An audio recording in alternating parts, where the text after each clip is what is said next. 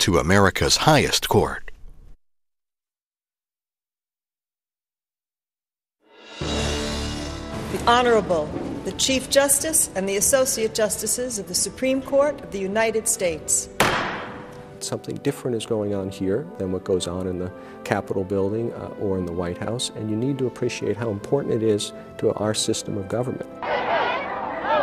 This is the highest court in the land, and the framers created it after studying the great lawgivers in history. The government concedes that the destruction of documents in anticipation of a proceeding. A lot of these cases are very close, and you go in on the knife's edge. You don't sit here to, to make the law, to decide who ought to win. We decide who wins under the law that the people have adopted. You will be surprised by the high level of collegiality here. If there are four of the nine of us who want to hear any of these cases, we'll hear it.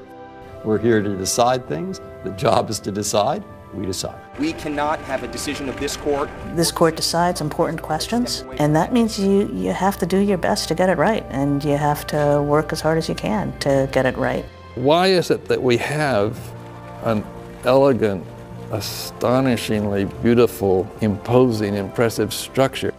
It's to remind us that we have an important function and to remind the public when it sees the building of the importance and the centrality of the law. It always thrills me, amazes me, and gives me faith in our country to know how much people trust the courts. I think the danger is that sometimes you could come into a building like this and think it's all about you or that you're important. And that is something that I don't think works well with this job.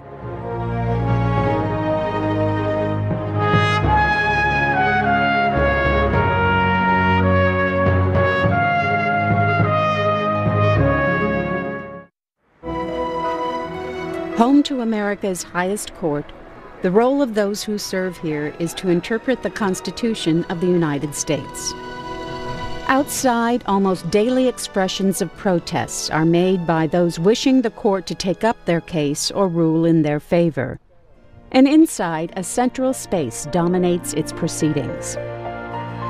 All around, there are both public spaces containing the symbolism of the law and artwork reminding us of those that have served on the court before, as well as beautiful private rooms that are seen by those privileged few.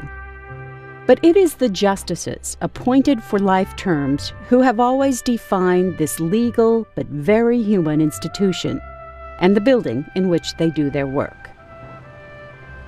I think it's the prettiest building in Washington. And it's distinctive. It's a different type of marble, just to start with, much brighter, much lighter than the typical government building, which I think is wonderful because it right immediately as soon as you see it, you appreciate that this is something different. It represents that the court is a different branch of government. And it really is more monumental. Um, it looks a lot more like the Jefferson Memorial or the Lincoln Memorial in terms of its uh, visual impact than it does uh, look like another government building. And if you view it as something of a temple of justice, um, I think that's uh, in, entirely appropriate. When you first come up the steps from the sidewalk up onto the plaza or forecourt, there are two candelabra on either side of the first set of stairs, and they actually have one of your first symbols, which is a blindfolded justice holding a scales of justice. On the other parts of that base of that candelabra are the three fates. So it's the first symbolic indication that this building has something to do with the law. And then as you travel up onto the plaza, there are the two flagpole bases, which also have some symbols of law and knowledge, indicating that the building has a purpose, which is the Supreme Court and the law.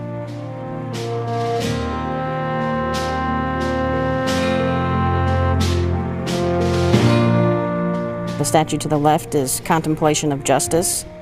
In her right hand, she holds a smaller statue of Blindfolded Justice. Blindfolded Justice is a symbol of impartiality.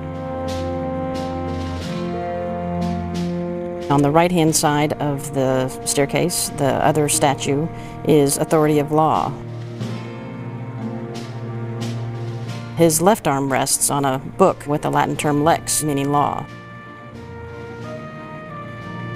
It's important for the justices, it's important for the attorneys, it's important for the public to make sure that people always want to come up these steps because we're doing the job the right way. And we, not a day goes by where we must not ask ourselves, are we doing this job the right way? I think the Supreme Court is the most mysterious branch to the public. They do their work in a marble building where cameras aren't allowed. They are not recognizable generally to the average person on the street. And then they speak to the public through their opinions. So, in some ways, they're very public because anything that they do that will matter in your life will be down on black and white in a court opinion. But yet, they themselves will not be publicly announcing that before a camera. So, there is a real mystery to the Supreme Court. Its proper role is in a democracy to give a fair and honest interpretation to the meaning of dispositions that the people have adopted, either Congress in statutes or the people when they ratified the Constitution. Simple as that, no more, no less. I think it is time that Americans wake up to what it is the framers had in mind when they tried to create an independent federal judicial branch. They had a clear vision in mind, and that was that the federal courts would be deciding issues of federal law, constitutional and statutory, and that um, those judgments would be binding on all courts, state and federal. When the court tries to do that job, questions which uh, sometimes uh, members of the court disagree about and disagree strongly about. But I think we're all trying to do the same thing, which is uh, to look at the law that exists, the Constitution, the statutes, to figure out what it means, and to apply and enforce it. What the public will see eventually is an opinion with reasons. The discipline that a, a judge follows and what makes judges unlike legislators. We don't just say, I vote that the petitioner should win or I vote that the respondent should win. We have to give reasons for every decision we make. When you go in for a big case, that's one with high visibility, where the stakes are really large, where you can feel the tectonic plates of the Constitution actually beginning or potentially beginning to shift then you would just be brutish if you didn't have an awareness or a high level of sensitivity uh, to, the, to the importance of that moment. The court is very much aware of history. The place is one where continuity is very important, and history really does influence the way the court works. At the top of the West Steps are the symbolic bronze doors which recognize the history of the law and this court. Just on the other side is the ceremonial core of the building. There is an impressive marble hall that separates the front door of the building from the doors that lead into the courtroom. That marble hall is called the Great Hall. It's characterized by marble columns. Often, when I go home at night, the building is vacant and I walk through the Great Hall and I look around at the pillars, and it really impresses upon me the importance of the work that we're doing. As many times as I've walked through that hall, it, it never ceases to, to have that impression on me. Between the columns are busts of Chief Justices. As you walk from the beginning, you can see John Marshall, Taney, up to Taft, Charles Evans Hughes, Earl Warren.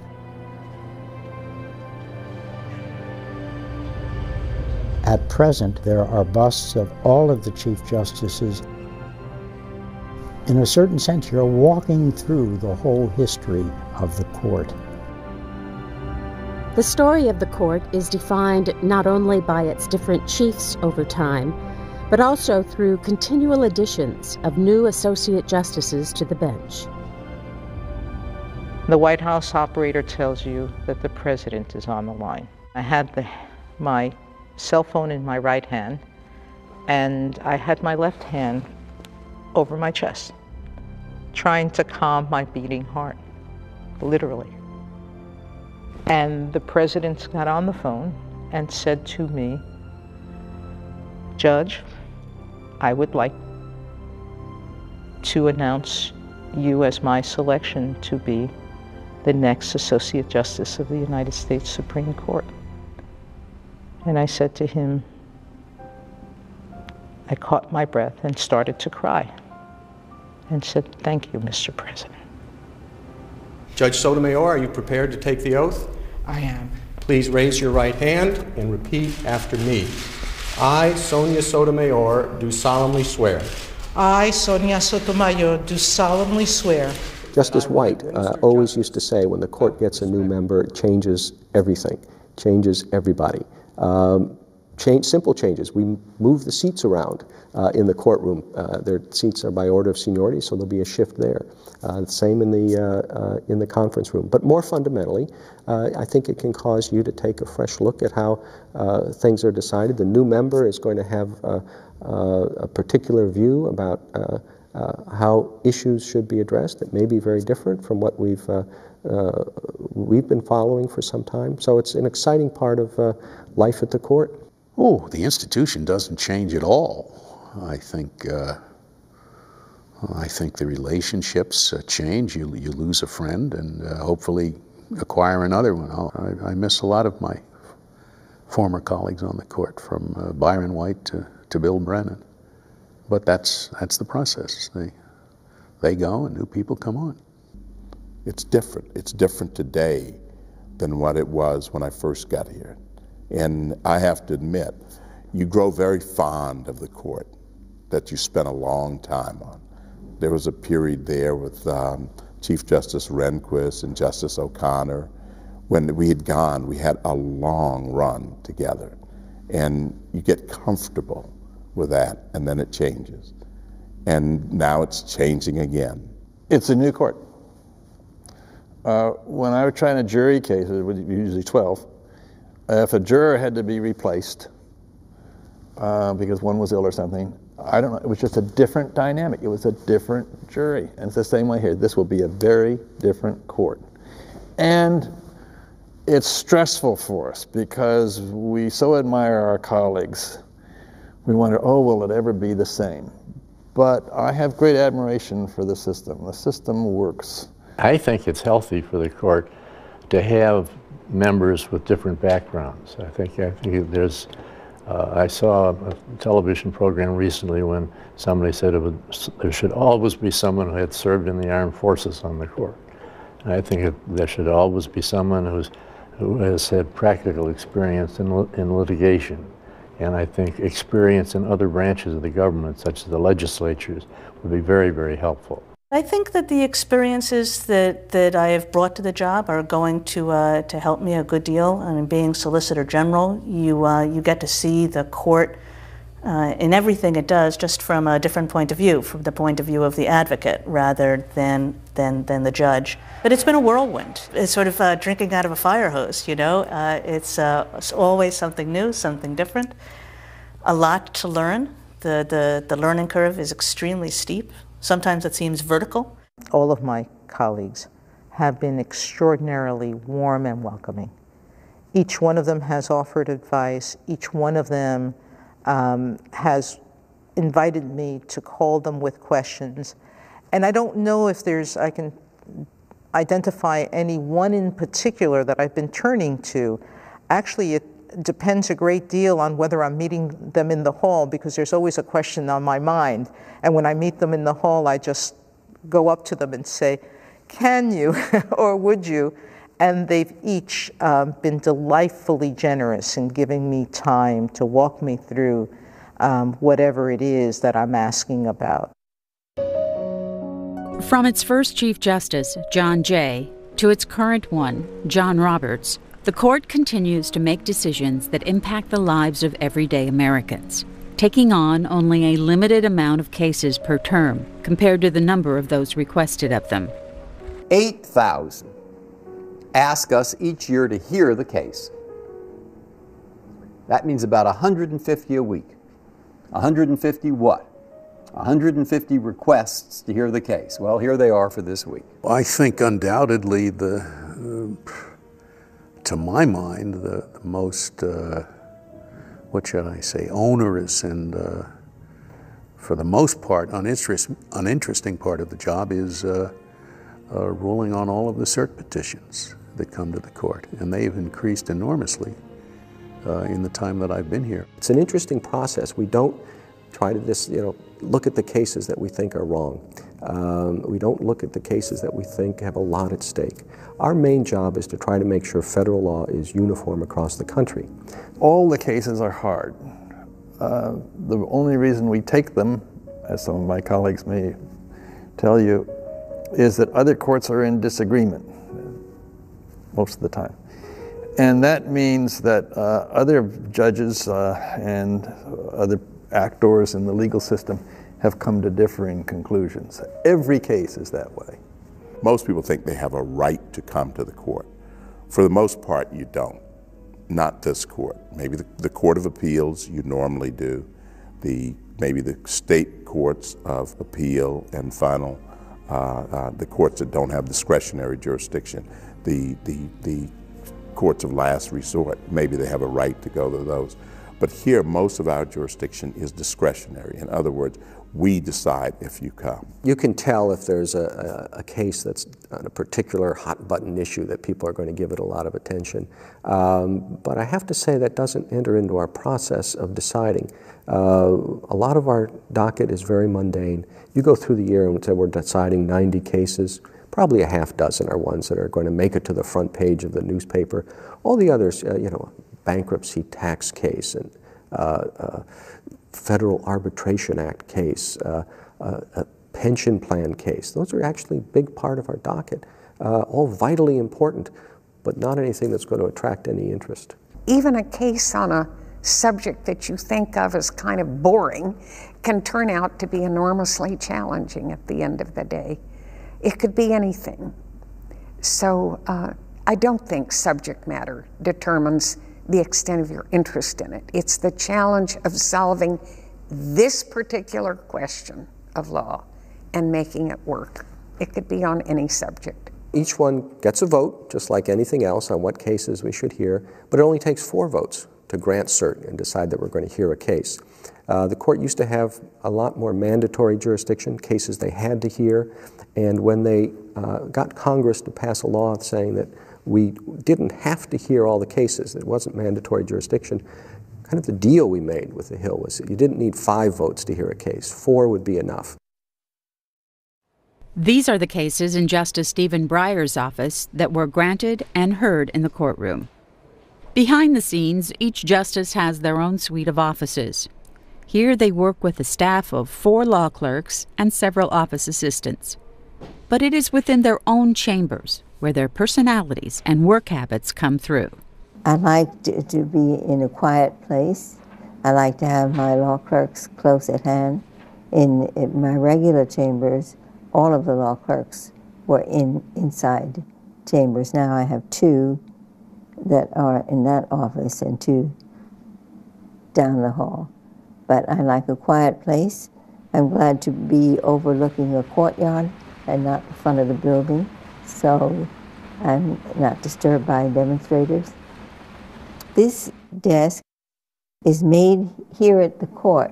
All of the chambers have similar desks. The variation in these chambers is that I have put a granite top on the desk.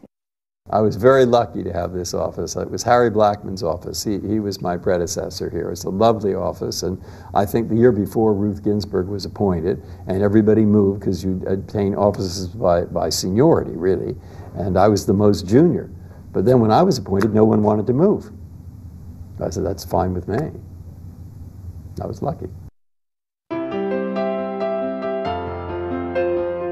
It is this view from Justice Breyer's chambers that provides a window into the past of the Supreme Court. Meeting in the basement of the Capitol for the majority of their time between 1810 and 1860, John Marshall oversaw the court from here during his tenure. And later, Roger Taney ruled over the chamber as well, until the court moved upstairs into a space vacated by the Senate, where they would meet until 1935. But with very little space available in the building for justices to do their work, and with even less for attorneys to find a place to prepare for oral argument, one Chief Justice determined it was time the court have a building of its own. I don't think it's an understatement to say that this building would not be here if it hadn't been for the persistence of Chief Justice Taft. Taft had in mind that the court needed to have a building of its own. He believed that when he was president, and when he became Chief Justice, it became almost an obsession.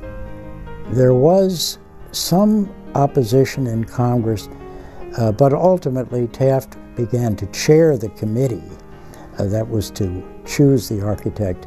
Gilbert was very much the first choice that Taft had in mind. Cass Gilbert was one of the best known architects of his time, and so it was the perfect match of architect and, and employer. Their idea was to have a building that would comport to Jefferson's concepts and that would look right next to the Capitol building, but still stand on its own. The appropriation that Taft asked for was a little bit less than $10 million. During the Great Depression, there was actually a deflation. And so they were able to build the building and furnish it and still turn $100,000 back to the Treasury of the United States. So it came in under budget. May be the only government building in history that came in under budget. Gilbert thought he had done such a great job that the uh, U.S. Uh, Capitol should be moved so that people would have a better view of the court. That was his view. And I think he did create a beautiful building. But there's no way the Capitol's going to be moved to provide a better view. Gilbert worked in, in what is essentially a, a sort of French Beaux-Arts classicism. He was very serious in his intention to, to uh, create a, a, a house, and a symbolic house, for the third branch of government that expressed the seriousness of what we were doing, the authority with which the third branch should be invested, and an authority really to work for what was right. Supreme Court justices are not shy, and uh, some of the justices felt that the new building was too grand, was too grandiose. Chief Justice Stone is alleged to have said that the justices were like nine black beetles in the temple of Karnak, and that maybe they should ride in each morning on elephants. Setting a record with over 75 million pounds of marble used in its construction, when it opened in 1935, seven of the nine sitting justices refused to move into their chambers in the new Supreme Court building. Van Deventer, who was one of the justices at the time who did a lot of work on it, didn't want to leave the former chambers, which was in the basement of the Senate. And he said, if we leave these offices in the Senate, no one will ever hear of us again. Well, he was wrong. Brandeis said he wouldn't come in here. And the reason Justice Brandeis wouldn't come is he said this building is so elaborate it'll go to their heads. Well, maybe he was right. But it's become over time a symbol of the court system, the third branch of government, and uh, the need for uh, stability, a rule of law, which is what America stands for. The interesting thing is that neither Taft nor Gilbert lived to see the building completed. Gilbert died only a few months before the building actually opened. As you look at the building today, you not only see the vision of Taft and his architect, but also the work of Taft's successor, Chief Justice Charles Evans Hughes, who oversaw its completion. And while most visitors see the west plaza of the structure, on its east side is a less often viewed part of the building and its pediment above. The east portico and plaza of the building is surmounted at the top by the east pediment sculpture by Hermon MacNeil, he was given a lot of rein by the architect Cass Gilbert to design his own ideas for this sculpture. And he chose, since he was on the eastern side of the building, to look toward the eastern traditions of law to choose some of his figures. The central figure is Moses, and then on either side are Confucius and Solon, the Greek lawgiver. To either side of those are some allegorical figures that depict various aspects of the law and authority.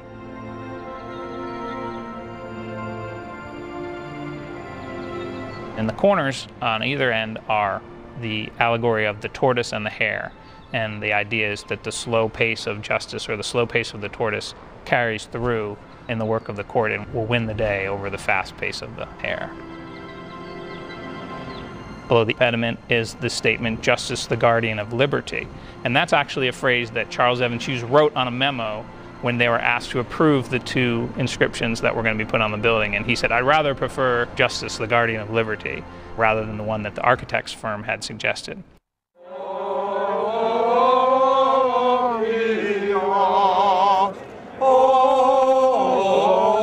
On the opposite side of the Supreme Court is the West Plaza, the traditional public entrance to the building, and also a place where many express their feelings about the court and the Constitution.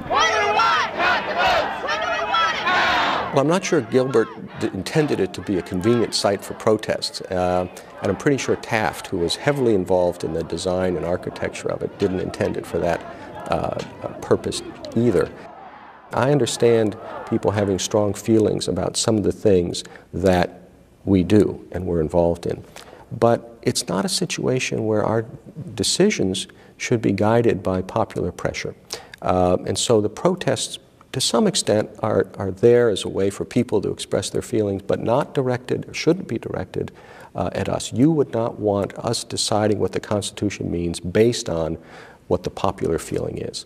Quite often, and many of our most famous decisions are ones that the court took that were quite uh, unpopular and the idea that we should yield to what the public protest is is quite foreign to what it means uh, to have a country under the rule of law.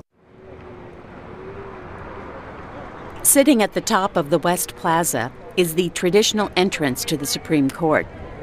Due to ongoing security concerns, the court decided in May of 2010 to close the symbolic bronze doors as an entrance, while still allowing people to exit the building from here. In a statement critical of the decision, Justice Stephen Breyer said in part, While I recognize the reasons for this change, on balance, I do not believe they justify it. In making this decision, it is important not to undervalue the symbolic and historic importance of allowing visitors to enter the court after walking up Gilbert's famed front steps.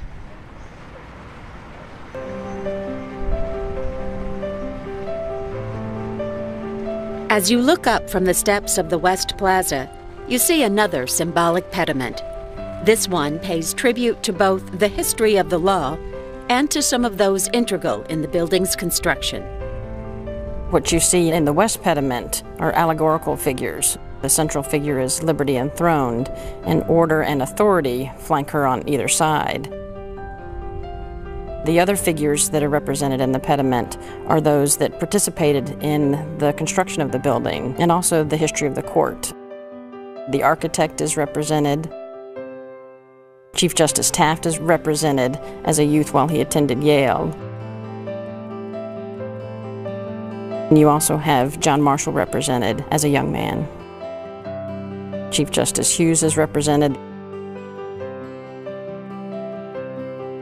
Even the sculptor, Robert Aitken, is represented in that frieze.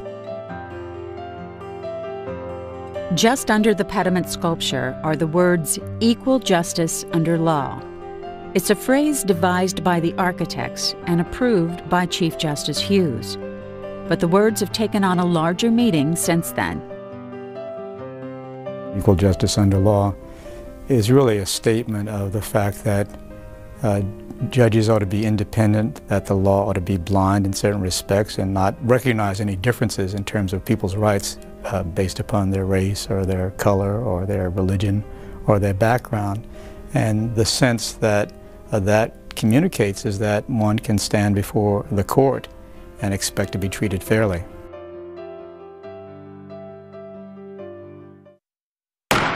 I don't want legalism, I just want the conclusion. In a moment, the justices, on the one hour that can potentially sway them on cases that come before the court. It's the first time we learn what our colleagues think about a case, and that can alter how you view it right on the spot. You have to pick some number, don't well, you? Well, actually, what like the eight is eight percent. Your Honor, the A lot of these cases are very close, and you, and you go in on the knife's edge.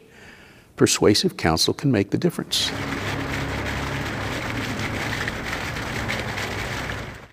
The Supreme Court, home to America's highest court, is one of three original documentaries from C SPAN included in our American Icons DVD collection. Get your copy for $24.95 plus shipping and handling. Order at cspan.org/store. And for more information about the Supreme Court, including a virtual tour of the building, the justices in their own words, a photo gallery on the construction of the Supreme Court building, and an interactive timeline on the history of the court, go to cspan.org/supreme court. The C SPAN networks. We provide coverage of politics, public affairs, nonfiction books, and American history. It's all available to you on television, radio, online, and on social media networking sites. And find our content anytime through C SPAN's video library. And we take C SPAN on the road with our digital bus and local content vehicle, bringing our resources to your community. It's Washington your way. The C SPAN networks, now available in more than 100 million homes, created by cable, provided as a public service. We return now to C SPAN's feature documentary, The Supreme Court, home to America's highest court. The Supreme Court hears between 80 and 100 cases each term inside this building that was opened in 1935 and envisioned by Chief Justice William Howard Taft. In what the architect called the central node of the structure, the courtroom was adorned with red drapes and special columns made of marble imported from Italy and Spain. But Taft's wish called for more than just a new courtroom. Just outside this space are rooms added to help both the justices and attorneys prepare for oral argument. In the lawyer's lounge, the uh, clerk of the court, and usually the deputy clerk, come in and they give practical pointers. They try hard to put people at ease. It's a fun place to be before going into the courtroom because there's a lot of camaraderie in there. You get to meet your opposing counsel if you haven't met them already. It's, it's friendly. A lot of nervous energy in there, but it, but it is friendly. It's designed to calm lawyers down who are doing their arguments for the first time to make certain that they're not faux pas, uh, that they don't tell jokes or attempt to tell jokes during their oral arguments or not refer to their familiarity with one of the justices. Uh, and uh, that indeed they will survive the experience and they ought to see it as a place where they can make their best case and the court will hear them and they'll get a fair decision. We want them to enter that courtroom prepared and ready and both sides have an equal chance at, at winning the case. The attorneys are instructed to be there at 9.15 in the morning. And they, the regulars all know to be there and come there. Sometimes they don't know each other. You don't know your opponent. It might be New York and California. This is a national court. So it's not just a bunch of attorneys who all hang around the same courthouse. A little different from that. They exchange greetings. They're all glad to see each other. They take their seats, uh, go over the events that are going to occur that day, let them know if opinions are coming down, how many motions for admission, the absences of any justices who might be recused, answer any questions they might have, and offer them cough drops, uh, aspirin, anything like that they, that they might need to make them feel more comfortable. And the attorney uh, feedback I've gotten over the years is they like it very much. As the attorneys get their last minute instructions before entering the courtroom, the justices are preparing for the experience in their own way. First of all, on days of oral argument, a bell or buzzer is sounded in each chambers of a justice about 10 minutes ahead, reminding you that in 10 minutes you're supposed to be on the bench. At that point, you need to go down to the robing room to get your robe on and be ready to go into the courtroom at the appointed hour. Uh, Chief Justices don't like to be late, as you can imagine, into the courtroom. And the robing room just has a number of narrow little sections of a larger cabinet in which the justice's robe or robes are hung, and your judicial collar, if you have one, it, it can be on the shelf. You know, the standard robe is made for a man because it has a place for the shirt to show and the tie. So Sandra Day O'Connor and I thought it would be appropriate if we included it as part of our robe, something typical of a, of a woman. So I have many, many collars. I'm sure we could do our work uh, without the robes. We could do our work without this glorious building. What the robes, like the building, uh, impart to the people who come here is the uh, uh, significance, the importance of what goes on here. I think that that's a, a, profound symbol, that kind of plain black robe that says, I'm going to try to the extent I can not to be guided by any personal experiences or personal characteristics, but uh, to apply the law uh, uh, in the fairest way I think is possible. Those traditions anchor us in a process that's greater than ourselves. They remind us that the role that we're playing is not a personal role, that, and not a role that should have a personal agenda, but one that has an institutional importance, and that that institutional importance is bigger than us. As we enter the robing room, or if we're on the late side, the conference room, the first thing we do is we go around the room, each justice shaking hands with every other.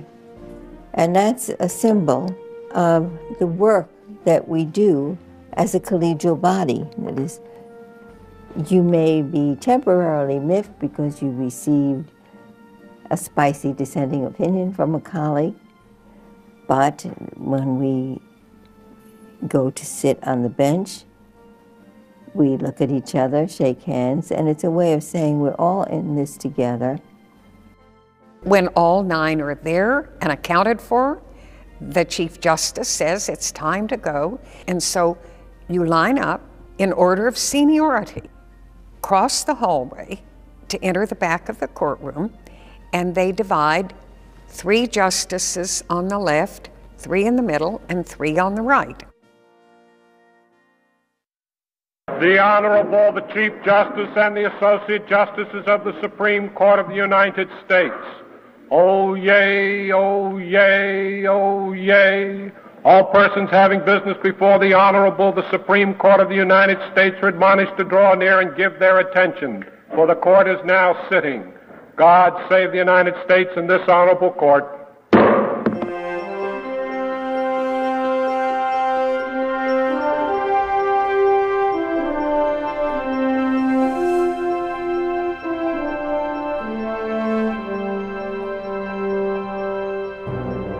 One of the amazing things about that courtroom, despite its splendor, is the intimacy of it.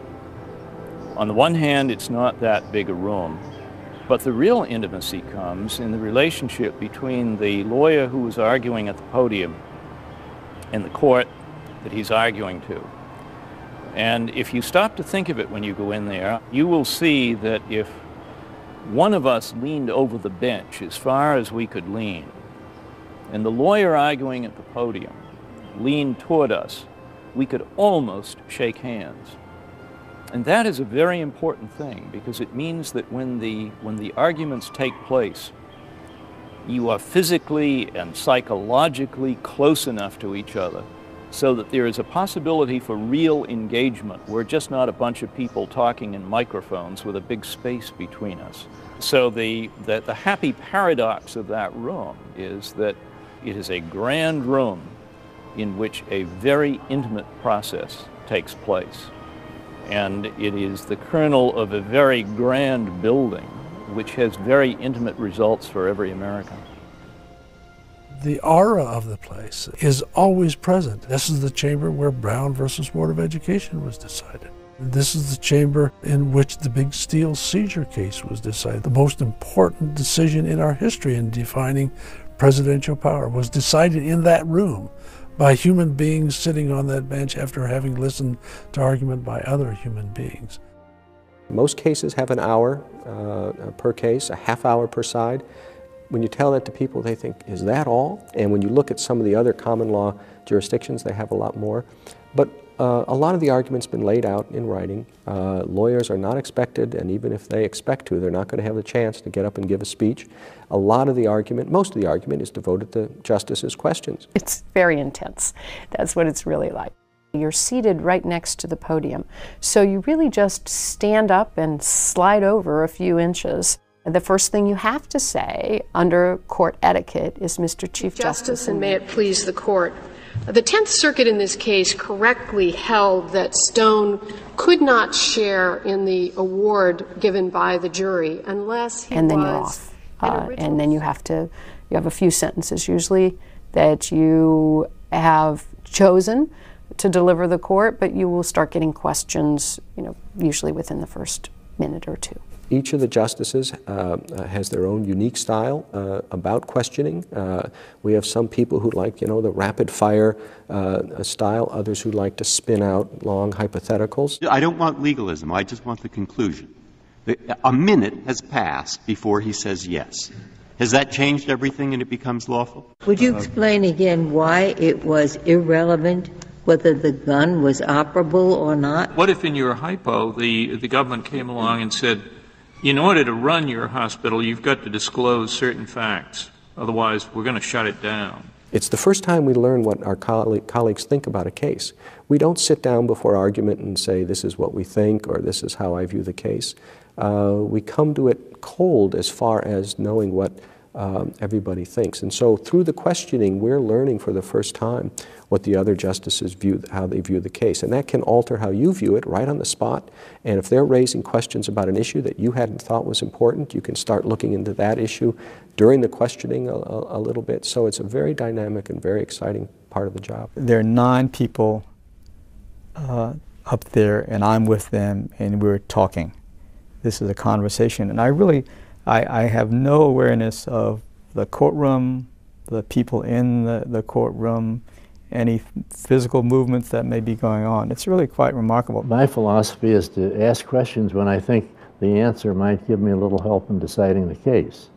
I, I don't view the, the participation as a, of a justice as an opportunity for the justice to uh, advocate one point of view. I think rather the, the questioning should be designed to help understand what the arguments on both sides are in order to enable the justice to uh, reach a decision. To sit on the Supreme Court and listen to the questions of your colleagues is somewhat humbling.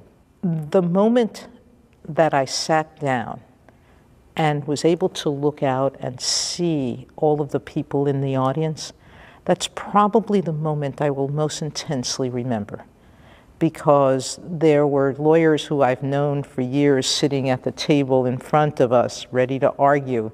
But then watching the intensity of everyone's face, and I'd forgotten how much people believe that believe and know that they're affected by the court's decisions. Every question I ask has a purpose. It has some importance to something that is troubling me or that I'm curious about? As an attorney, I welcomed questions from the bench. I know that some lawyers regard questions as an interruption in an, in an eloquent speech that they are preparing, prepared to make. But an advocate wants to know what's on the judge's mind, so she will welcome questions as a way of satisfying the judge on a matter that the judge might not resolve as well without counsel's response. It's all about just uh, fielding those questions and using the time strategically so that you respond to the questions. It's essential to answer the questions. You can't persuade a justice if you don't answer what they have asked. They're very demanding, as they should be. That's, that's their job. It's a very challenging exercise. Is 2% a critical mass, Ms. Mahoney? I don't think so, Your Honor. Uh, 4%? Uh, no, Your Honor. What you have to pick some number, don't well, you? Well, actually, what like the eight is eight percent. Your Honor, the now, does it stop being a quota because it's somewhere between eight and and twelve, but it is a quota if it's ten? A lot of people uh, have the impression that it's just a dog and pony show. What can somebody tell me in half an hour that's going to make a difference? And the answer is that uh, it, is, it is probably quite rare, although not unheard of, that oral argument will change my mind. But it is quite common that I go in with my mind not made up. I mean, a lot of these cases are very close, and and you go in on the knife's edge. Persuasive counsel can make the difference. I once had an argument where I think they asked 56 questions in 30 minutes. So it's a lot of questions. And yes, they, they interrupt each other even. It had been my practice on the Court of Appeals to try to wait for sort of the end of the lawyer's paragraph before interrupting with a question. And here I learned if you do that, or even if you, in a, in a hot case, if you end, wait till the end of a sentence, you will never get a question in. You have to be, you have to interrupt uh, to, to, to make your voice heard. The argument is, is for us to say, well, yeah, we've read your brief, we know what you think of the case, but here are the questions that that inspired in us. You know, here are the concerns we have, or here are the uncertainties that you left open, and, uh, and use oral argument in order to do that. I guess I view oral argument a little bit differently.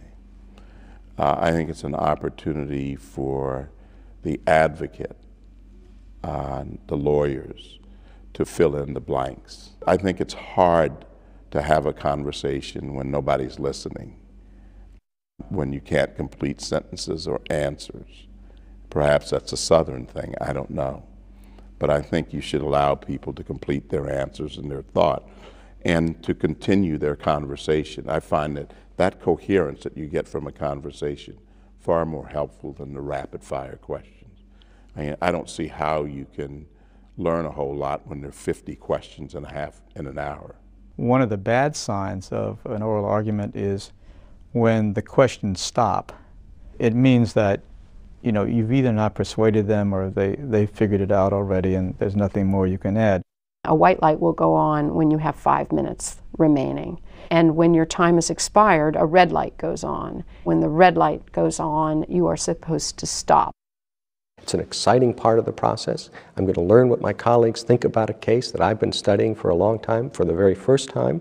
I'm going to hear what the lawyers have to say. Um, so it's an exciting day.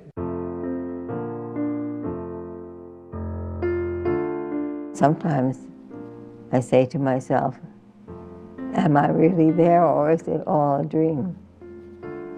It's one of the most beautiful courtrooms, I think, in the world there's a hush that comes over people as they walk in. There's a reverence that this is an important space. People then look up and they see around the top of the courtroom there's a, an extended panel of sculptural frieze. There's four panels in the frieze above the courtroom.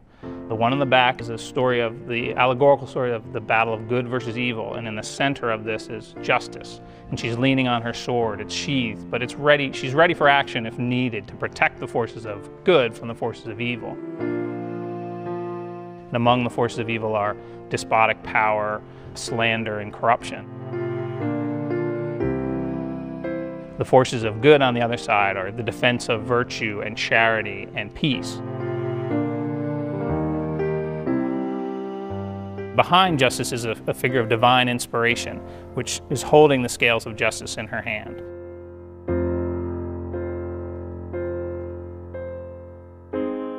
Out of that, you have this procession of the great lawgivers.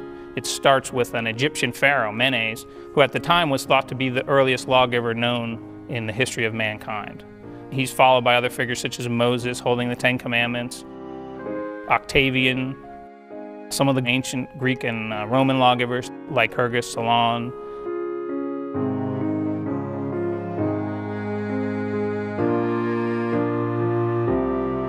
And then on the other side, you come into more modern times.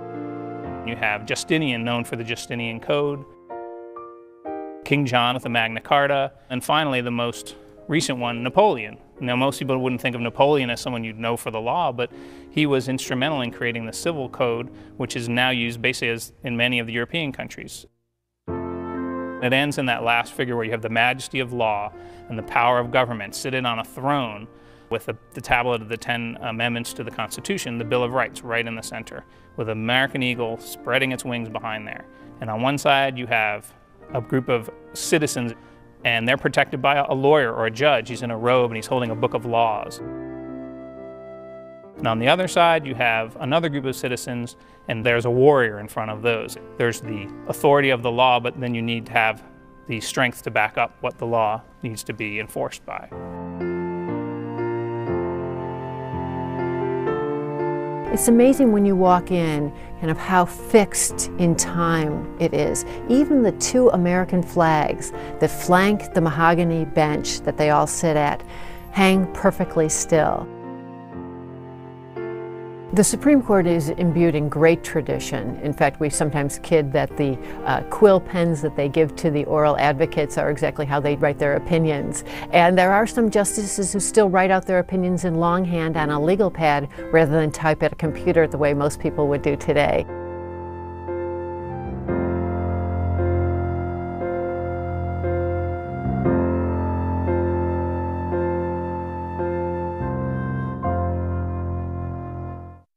The Supreme Court, rich with traditions, is also a very human institution.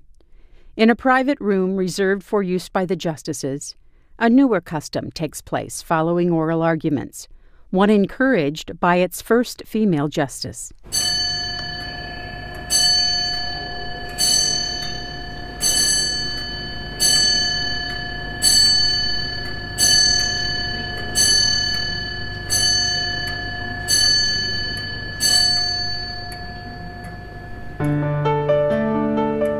It is a beautiful room, very well furnished. But the food is not exactly haute cuisine. It comes from the public cafeteria. The justices eat, eat same things that any visitor to the court might choose for lunch. You will be surprised by the high level of collegiality here.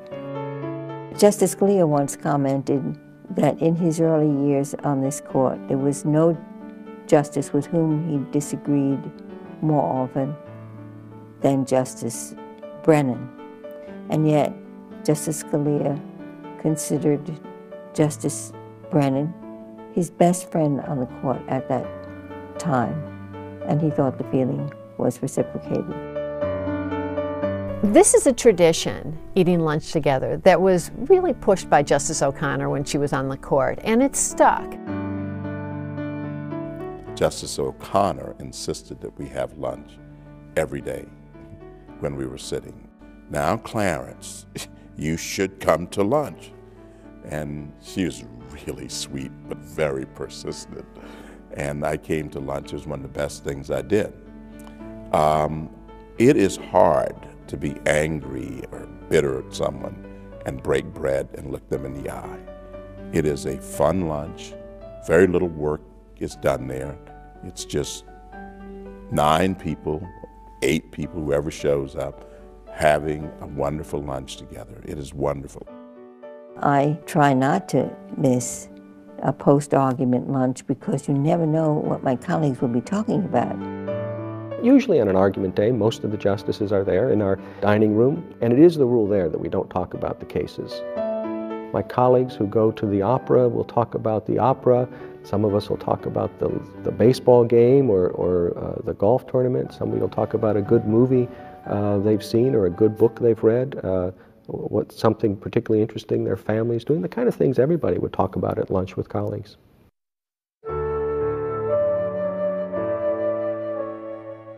Off the main justice's dining room is a smaller dining room for smaller functions known as the John Marshall Dining Room.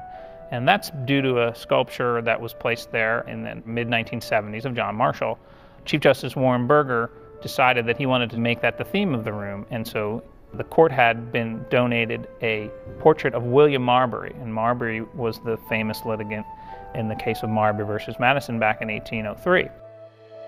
Chief Justice Burger said, we need to get a companion portrait for that, and so the great litigants Marbury versus Madison are on the wall, literally, of this small dining room. Marbury and Madison is probably the most famous case this court ever decided. The idea of judicial review for constitutionality, I think, is implicit in the constitutional document. But John Marshall made it explicit in the great case of Marbury against Madison. In all of the Supreme Court's history, there is no one case that says as much to a justice about what it is like to be a justice. Because Marbury versus Madison is, is the embodiment of judicial review. There's no quotation in all of the history of Supreme Court writing that justices more prefer to repeat than the phrase which says, it is emphatically the power and the duty of the judiciary to say what the law is. That's a quote from John Marshall in Marbury versus Madison. We call him the Great Chief. He really was the first person to take the job seriously. He really established the court uh, in a prominent position as one of the three co-equal branches of government. The chief's responsibility is to preside at oral arguments and also to preside at the conference where the justices uh, vote on and decide the cases. That means I get to initiate the discussion uh, and have some responsibility uh, to make sure that all the issues are adequately aired uh, at conference. There is a change when the new Chief Justice is presiding at conference. Each, each Chief Justice has his own uh, uh, ways, uh, method of handling and presiding at the conference, and the present Chief Justice is doing an excellent job, and it has some virtues that the others didn't have, and, and but, but, but that's pretty much follows the tradition that's uh, been followed for many years. On the one hand, there's not much the Chief Justice can do. Uh, the, his uh, eight associate justices have a lifetime job. They have a duty to uphold the Constitution. Uh, he, he can't fire them. He's got to get along with them. Uh, we have traditions uh, which will outlast any Chief Justice. And so the Chief Justice comes to a court uh, where there are these elements of stability and permanence and protection. Um, and, we, and we have our tradition, and we have our oath. Um, on the other hand, uh, the Chief Justice who presides over our, our conference and uh, steers us through the mechanics of hearing the cases and calendars, uh, by his uh, personality and his warmth and his decisiveness, uh, and his understanding of the law and of the institution of his colleagues uh, can do a great deal to set the tone. When I got here, my colleagues were very helpful in filling me in on how things uh, worked, uh, often in contradictory ways, but you do get some sense about what's expected in the process. Um, and then you go in and do it and hold your breath and hope they all don't say at once, well, what are you talking about? why, why are you doing that? And the real key is that my eight colleagues were extraordinarily helpful uh, in making me feel very comfortable.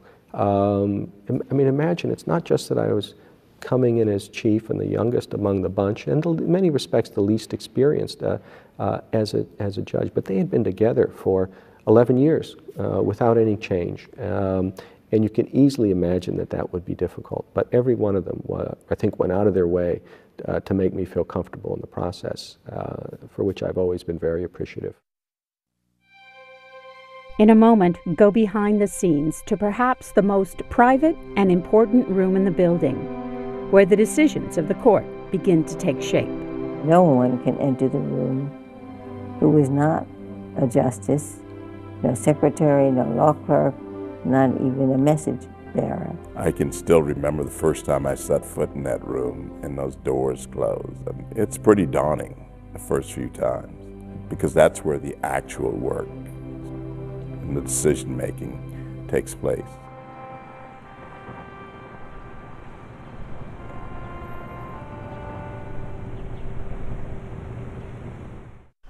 And for more information about the Supreme Court, including a virtual tour of the building, the justices in their own words, a photo gallery on the construction of the Supreme Court building, and an interactive timeline on the history of the court, go to cspan.org/supreme court.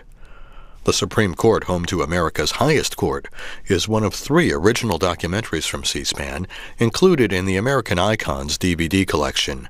Get your copy for $24.95 plus shipping and handling. Order at cspan.org/store. You're watching C SPAN, bringing you politics and public affairs. Our live call in program about the news of the day, connecting you with elected officials, policymakers, and journalists. During the week, watch the U.S. House and our continuing coverage of the transition to the new Congress. And every weeknight, congressional hearings and policy forums. Also, Supreme Court oral arguments. On the weekends, you can see our signature interview programs. On Saturdays, The Communicators. And on Sundays, Newsmakers, Q&A, and Prime Minister's questions from the British House of Commons. You can also watch our programming anytime at cspan.org, and it's all searchable at our C-SPAN video library. C-SPAN, Washington, your way, a public service created by America's cable companies. We return now to C-SPAN's feature documentary, The Supreme Court, home to America's highest court.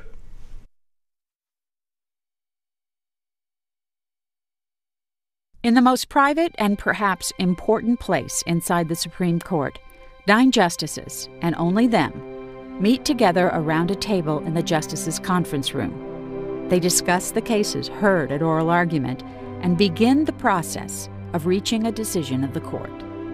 We sit at the conference table in the same places every day. I sit at one end, and then it wraps around the table in order of seniority.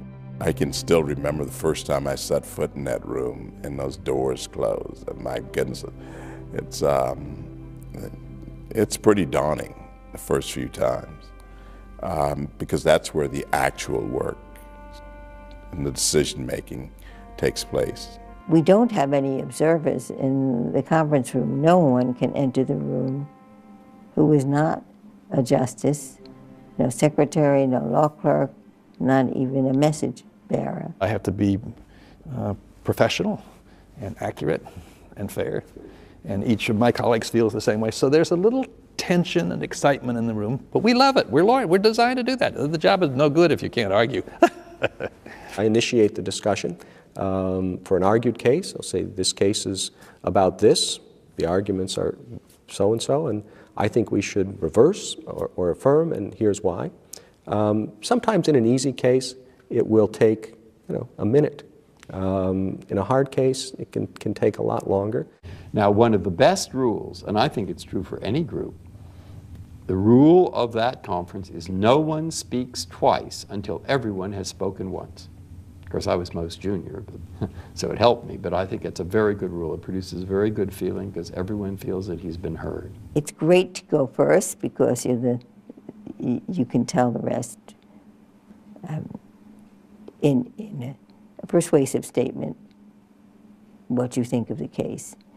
But when you're on the end of that queue, you do have a certain advantage. That is, you know what the others think. It is not really a, an exercise in, in persuading each other. It's uh, an exercise in stating your views, and the rest of us take notes, and that's its function. You take notes so that if you get assigned the opinion, you know how to write it in a way that will get at least four other votes besides your own. I was the most junior member of this court for 11 years. And it was always, when we had our conferences, it's no one else's the room, was in the room. I had the special job of opening the door in case somebody knocked, you know. Somebody knocked, uh, usually somebody forgot a paper. Once they had coffee for Justice Scalia. I said, well, I've been doing this for 10 years. And he said, and I said, I, I think I've gotten pretty good at it. He said, well, I'm not sure. said, so we get on very well. I mean, the, the, the nine of us get on very well. I mean, who would want to be part of an institution where everybody uh, dislikes each other? You know, I think it's actually one of the great things about the court right now is that uh, even when people uh, disagree, and sometimes disagree sharply, uh, there are important questions, hard questions that people uh, have strong views on, um, but that they can understand that that uh, that everybody is trying to do the best they can, and everybody's working really hard, and everybody uh, cares a lot about uh, about the law and about um, uh, this country as well. I just finished my 18th term, uh, and I still haven't heard the first unkind word in that room. And you think what we've decided life and death, abortion, execution, war and peace, financial ruin, government relationship with citizens. You name it, we've decided it. Those discussions uh, lead the justice to conclude tentatively to affirm or reverse in the particular case. Now, that vote is not cast in concrete. You are not walking on wet concrete yet. You can change your mind. And it's not just win or lose, uh, reverse or affirm, it's what rationale you use, what principle you use to teach something. And if uh, there, the case is uh, close, five to four, and let's say you're on the side that prevailed, the, the majority, there are not a lot of high fives and back slaps, and uh, there's a moment of quiet, a moment of respect. My most important responsibility is uh, the responsibility for assigning opinions uh, once the votes are in. If I'm in the majority, um, I get to determine who will write the opinion in that case. And that's a very important responsibility because you want to make sure that the assignment is given to the justice that commands, whose view commands the most support uh, on the court. You want to make sure the work gets done on time, so if someone's a little slower than others, make sure that person gets assignments, uh, heavy assignments earlier on. Some cases are more interesting uh, than others. You want to make sure those are fairly distributed. Some cases are harder than others. You want to make sure that's fairly distributed uh, we get all sorts of different issues. You want to make sure each justice has a nice mix. You don't want one justice just doing criminal cases uh, or, or, something like that. So a lot of factors go into that decision, and it's a very important part of it. When we get through, we sometimes have coffee sent in and uh, maybe eat a, a sweet roll or cookie or something. As opinion writing assignments are handed out at the end of conference, a room exists upstairs in the Supreme Court which helps the justices and their staffs consult precedent through the words written in the countless legal volumes housed here. A room filled with not only books, but the symbolism of the great lawgivers, and admired by those few who enter into its mahogany grandeur. If they want to see the most beautiful room in Washington, they ought to go up to the library on the third floor that nobody hardly sees today. Uh, that's, that's not so much Roman classicism as, as Renaissance classicism, but it, it's, it is just a breathtakingly beautiful room.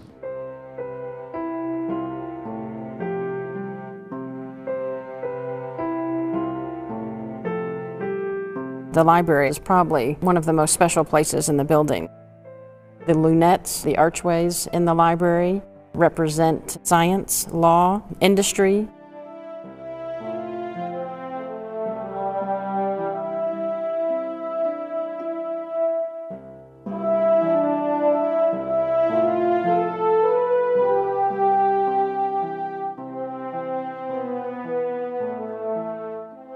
There are shields that are directly above the archways, and those represents various printer symbols.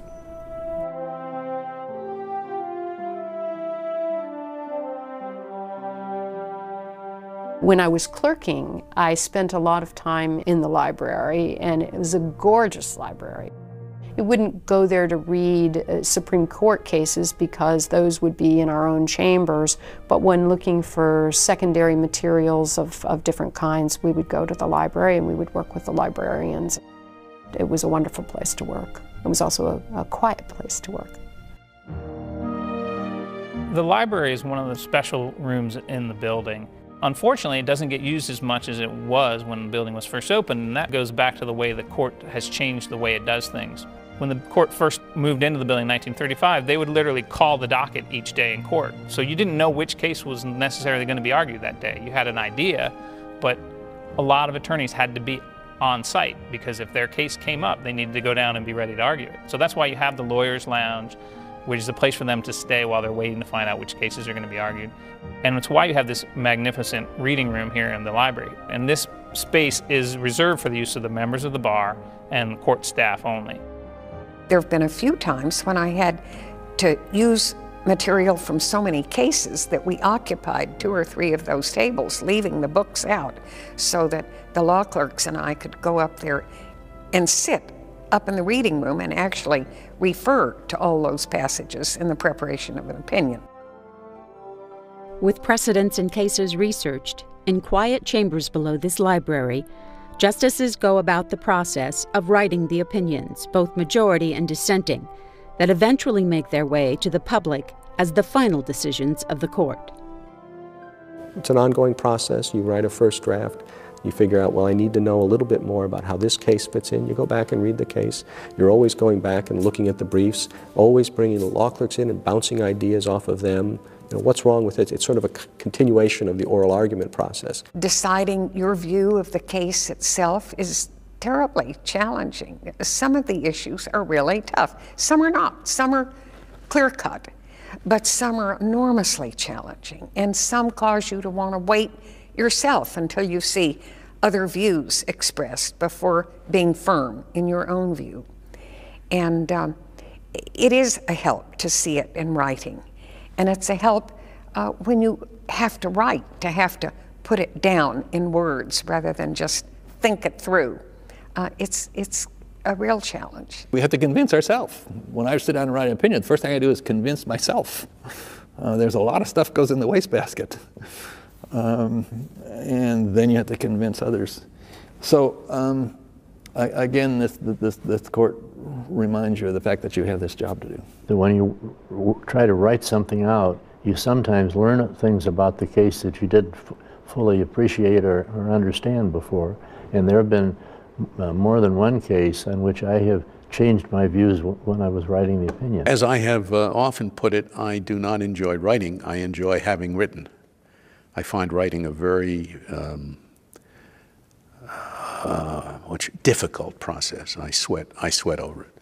I write. I rewrite. I re- rewrite again. I mean, uh, if, if, before the opinion goes out, the law clerk will say, it's, you know, it's going out this afternoon. You want to read it one last time? Say, yeah, let me read it one last time. And I guarantee you, every every time I read it, I will change something else.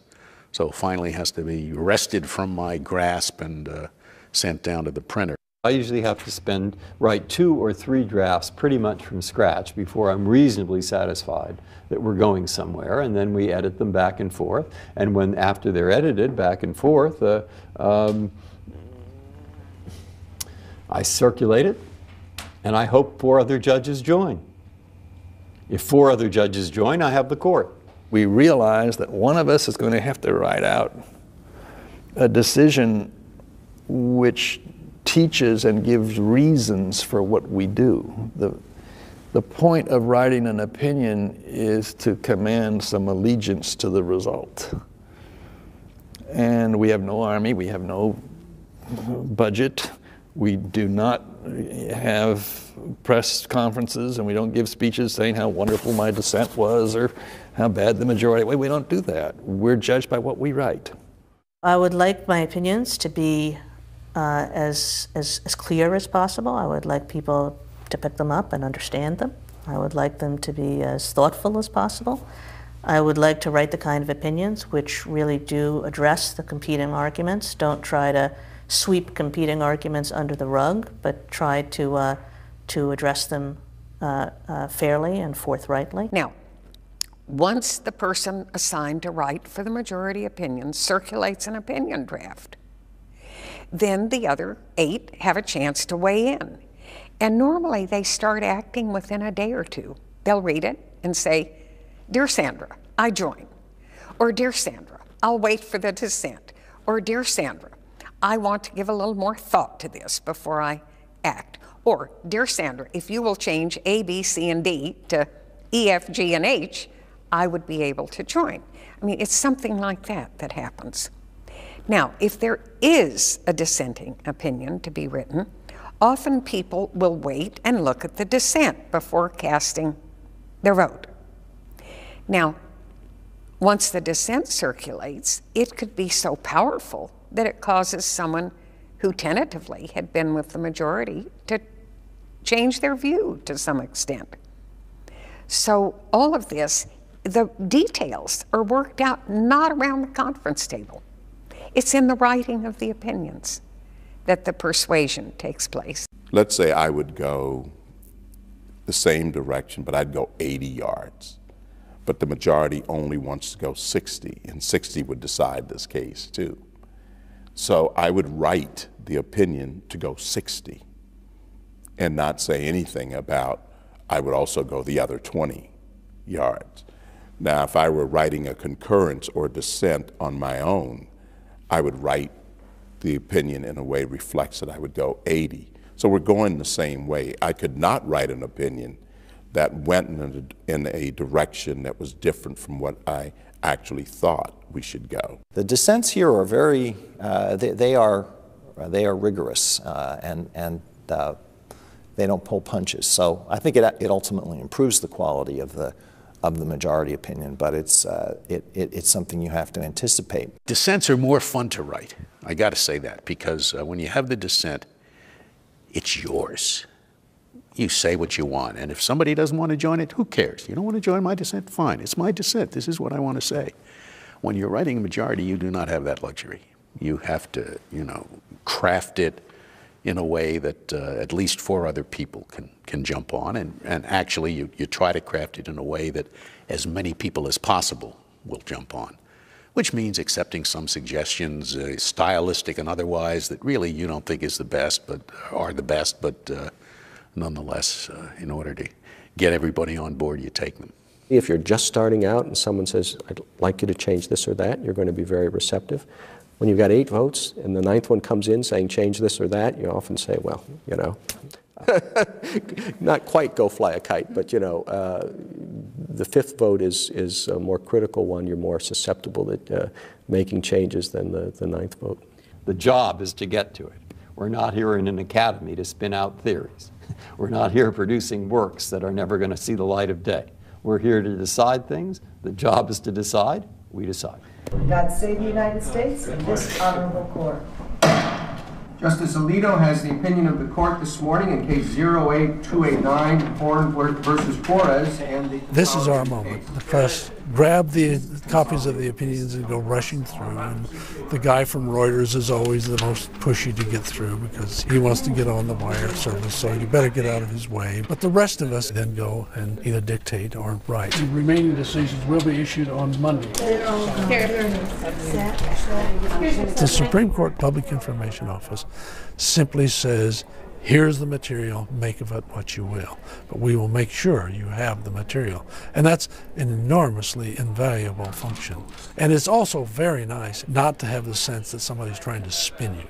I personally do go up and want to hear the opinion announced from the bench. I like the, the pageantry of that. I like to hear the justice himself or herself announce what's in the opinion. Then I race down the stairs to the court press area where we all have our laptops set up now, and I write a first version of that story so that it can get on our internet site. Readers really want to know as soon as possible what the court ruled and potentially what that might mean. A lot of people say, well, it's a very secretive institution. No, it isn't. It's an institution that virtually does most of its work in the open. And as they like to say, the work comes in the front door and goes out the front door. You are just a few steps away from the uh, courtroom. Near the courtroom are two rooms used by the justices to occasionally speak to the public as well.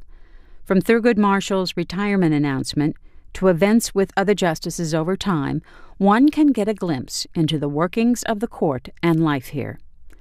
But it is the private view of the ornately decorated East and West conference rooms and their portraits of past Chief Justices that helps one understand the history of the court.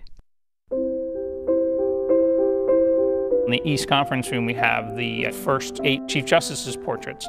So you can go in there and you can talk about the portrait of John Jay, the first Chief Justice, and how he came to the court uh, appointed by George Washington. And then he gets elected to be governor of New York and decides that that's a better job than being Chief Justice of the United States. So he resigns and becomes governor of New York. And then you have a beautiful portrait of John Marshall by Rembrandt Peale. Here's the great Chief Justice himself in a grand portrait, very similar to the one of George Washington in the Capitol building. And there's a chance to talk about John Marshall, to let people know his story. And that carries through over into the West Conference Room with the more modern justices, where in fact you have the two instrumental justices in this building William Howard Taft on one wall and Charles Evans Hughes above the fireplace, looking at each other through time. I like to go sometimes on a quiet night to the conference rooms because the portraits on the walls, eight in one room and eight in the other, are all my predecessors as Chief Justice. To some extent, you look up at them on the, on the walls with a degree of awe, appreciation for what they've been through. They're probably looking down at me with either bemusement or amazement. Each of them has a special story to tell, not only personally, but with the institution of the court. You look up at Marshall and appreciate the importance for him of having the court function as a court, moving the court from a situation where each justice wrote his own opinion and instead saying, no, we're going to have an opinion of the court, which was vital in, in establishing the court in its present form. Right next to Roger Taney, the most unfortunate of my predecessors, the author of the Dred Scott decision. And you understand that he saw this great problem in the country of slavery and he was going to solve it. And this is how he was going to solve it. And tremendously misguided and injured the court for generations to come.